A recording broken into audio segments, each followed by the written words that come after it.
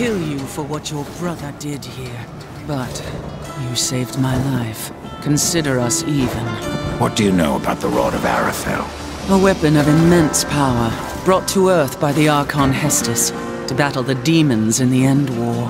But Hestus fell, and the rod was shattered. Now the Destroyer uses its pieces to fuel his army of darkness.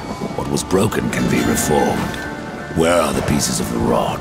In the hands of the Destroyer, he has summoned creatures from the Abyss and drawn forth his chosen, things of blasphemy, who even now divide this world into their own hellish domains. The Suffering are one such beast. They feed upon the dead of this world and twist them into a swarm of flesh and bone that fight as one mind. It was they who attacked us moments ago. One mind, easily sundered. I will not risk more Hellguard to recapture the Rod of Arafel. But, should you wish to undertake this fool's errand, and follow the trail of corpses left by my brethren, A fool's errand. Well, it would not be my first. What are these chosen? They don't look like demons. no, we have something far more ancient, drawn from the heart of the Abyss.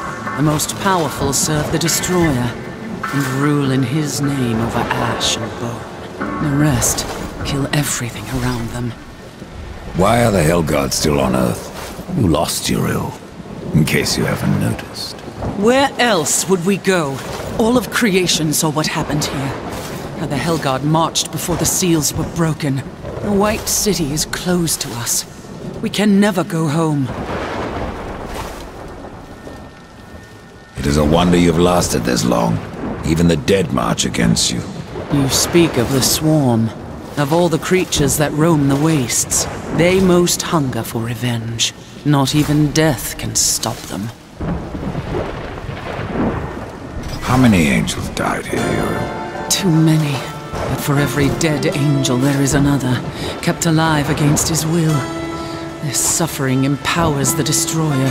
Perhaps you could release them from their torment, Pale Rider. If you wish.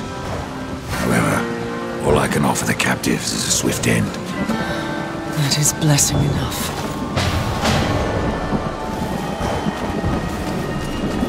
How do you fare, Death?